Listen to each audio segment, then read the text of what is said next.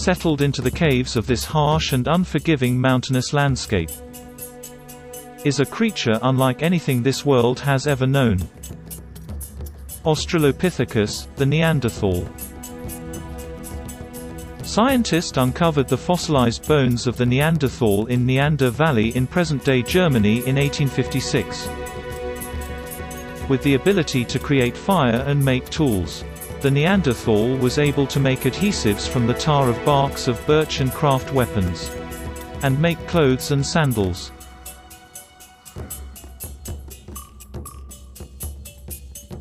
And they could build cave hearths.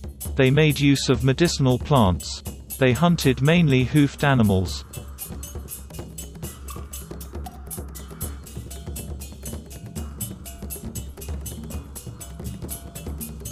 Winters were exceptionally rough for the Neanderthal.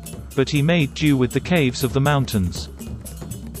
It is here where he will spend the majority of his time. All the slaughtering of animals will take place here. To help prevent any unwanted guest. The forest is full of predators. Although they were apex predators, they probably still had to rival with cave bears and lions on more than one occasion.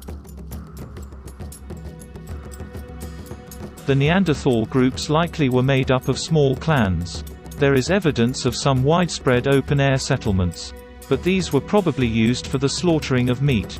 To help efforts of transporting dead carcasses for miles back to camp. However some researchers have claimed evidence of some females coexisting outside her own tribe. To keep from inbreeding. Suited for cold environments, their short stocky bodies were perfect for the harsh weather. Surviving two ice ages and 500,000 years the Neanderthal were pretty resilient. The hardest obstacle was the transporting of the carcass. So they relied on sub-stationary slaughterhouses. Evidence of fossilized teeth of a Neanderthal child shows, the children were weaned at two and a half years old. And mortality rates were extreme. Some lucky if they made it to adolescence and a life expectancy of 40 years. As social beings, grooming and cleaning took place inside the protection and comforts of the cave. A time of intimacy and bonding. Neanderthals used the mouth as a kind of third hand, used as a tool to cut meat or process furs, for instance. Different dental grooves mean different work, though both sexes hunted food, women were responsible for making and maintaining clothing, while men focused on repairing stone tools.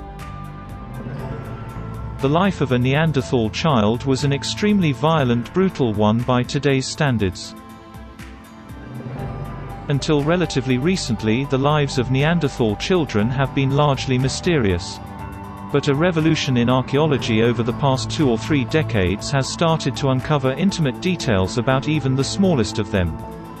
Studies show that Neanderthal mothers nursed their child through the coldest winters in human history.